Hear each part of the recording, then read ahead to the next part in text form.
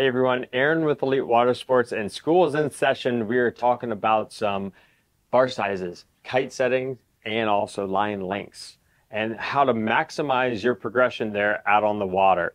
It's a it's a features that we have at our uh, at our fingertips, our, and the ability is there to adjust our kites and our bars and and the line lengths to really maximize uh, our time out in the water. It's something I don't see anybody really taking advantage of, but yet every single company has the options out there to do so. Okay, let's talk about bar sizes, right? Bar sizes, right? What you have is typically a 45, sometimes smaller, okay, but 45, 50, 55, 62. Bar sizes are essentially how far of a throw does the bar have, okay? If the lines are way out here on a 62 centimeter bar, right, you're going to have more throw. It's not about leverage so much, sure, a little bit, but let's not get into math, right? So leverage says that if I have 62 centimeters to travel, right, essentially I can get that line to pull a little further than I can with a 45 centimeter bar, okay? So line length or bar length is going to have a direct impact on how fast you can get a kite to move around the sky. Some slower kites, you put a big bar on, you can really get that kite to move really, really fast. But think about this real world application, right?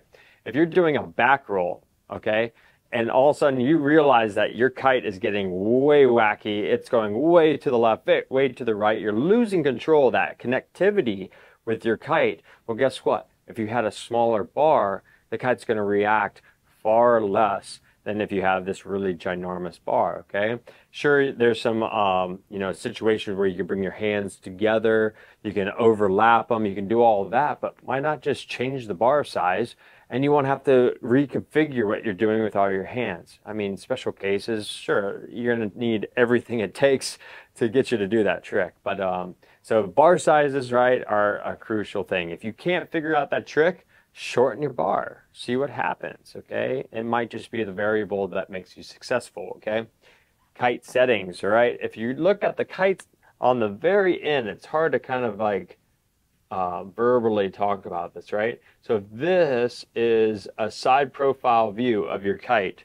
Typically you have bridles going down in the front, right? All cascading in, you know, and this goes down to your bar. And then you also have what is wingtip settings, okay? Some kite companies have A, B, C, or one, two, three, whatever it is, I don't know. But you have settings. And most companies out there will have it coming straight out of the bag on the middle setting. And what this does, and you know, it's lost in translation, everybody talks about it differently, but essentially this is more of a leverage situation and some other factors, but leverage situation, if that you hook your kite up to this wingtip over here, okay, that kite's going to be easier to move. It's going to be easier to fly. It's going to be a little faster in the sky, okay? Meaning, if you're doing that back roll, the same trick we were trying a second ago, if we're doing that back roll and that kite surges itself way off to the left, then all of a sudden all to the right, or maybe you're doing a loop and you just can't figure out why, well, why not change that setting to the furthest position away, the beginner setting, okay? I like to call it the beginner setting. It's also like a freestyle setting, like if you're doing unhooked, you don't want the kite to move ever, okay? Of course, the kite's going to be a lot slower. You're going to have to be a little bit more muscular to get that kite to move in a proper way to get it to the exact location. But guess what? You've just increased your chances by doing bar size and wingtip setting to uh, complete that trick, to get the trick done, okay? So again, if you're learning something like in the more kite loop range where you're wanting the kite to be super fast and agile, bigger bar, and the furthest out, closest to the wingtip, I should say, setting right here, that'll be for like kite loops. All right, and then this setting, beginner status.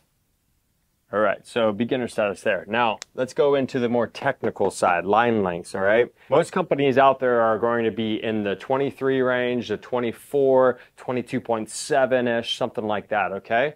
Every brand's a little different. Now remember, they're making these kites specifically for like bar size and the feel that they're going for on the line length, all right?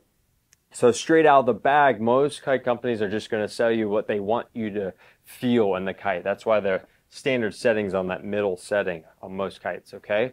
All right. Also, if they want to really gear a kite towards being fast, quote unquote, fast to the sky, they're going to come stock with the setting odd on the wingtip, right? Well, for bar or line lengths, line lengths are super cool, and it's something I play with uh, quite a bit. And if you have Mini Man right here, right? If you had 24 meters of line, right? This is essentially 24 meters, right?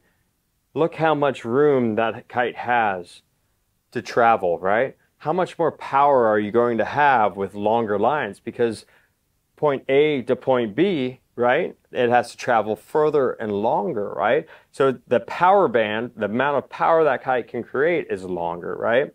Now all of a sudden you shorten those lines up, right? Now look how far it has to travel, not very far at all. So that power range, that power delivery is going to be short and sporadic, right? So what can that be used for, right? Well, in the wake style setting, wake style, we want that kite to be really parked and upfront and personable, and we can use a little bit bigger kite for stability, okay? We're not going to have as much power as we kind of mess up and the kite gets out of place, all right? But let's talk about on the surf side. Surfing, right? You're bombing a wave, bombing a lip, right? Maybe the kite's not uh, in the exact position you want. Well, with shorter lines, boom, now it's there. Versus long, look how long it takes to get to that new position, right? Additionally, foiling. Foiling, I love 16 meter lines. That is my jam, okay? If I'm in 24 meter lines, that doesn't help me very much in light winds. And sure, as a beginner, sure, it might help you a bit, um, you know, doing footwork or transitional work. But man, get me some 16 meter lines and my whole day is magical, okay? So, reason being, the kite's very direct. It's there. Wherever I put it, the kite's going to, or wherever I want to put it, the kite's going to be there almost instantaneously whenever I want it to be there, okay? So a lot of kite companies have um, pro bars per se that come in like two meter increments uh, where like you can really focus and technically like get the kite exactly the line length that you want. Um, and other companies don't have that option. And you just bring it into the, the kite shop. We can cut the lines down or make extensions for you and all that good jazz, okay? So in review, bar sizes. Bar sizes are crucial to maybe perhaps your success on a new trick that you haven't been able to land yet. Mess around with that. That might be the trick. Kite settings, also same thing. Change those wingtips out. Other kite companies might have some bridle stuff, you know. Doesn't really change too much, but it does. And then line lengths. Line lengths are my jam. I like changing line lengths and getting the most out of the gear that I have. All right. So this is Aaron with Elite Water Sports. If you have any other questions, just call us. All right. 727-800-2202. You can always do like an email too, ride at elitewatersports.com. And we'll catch you later out on the water.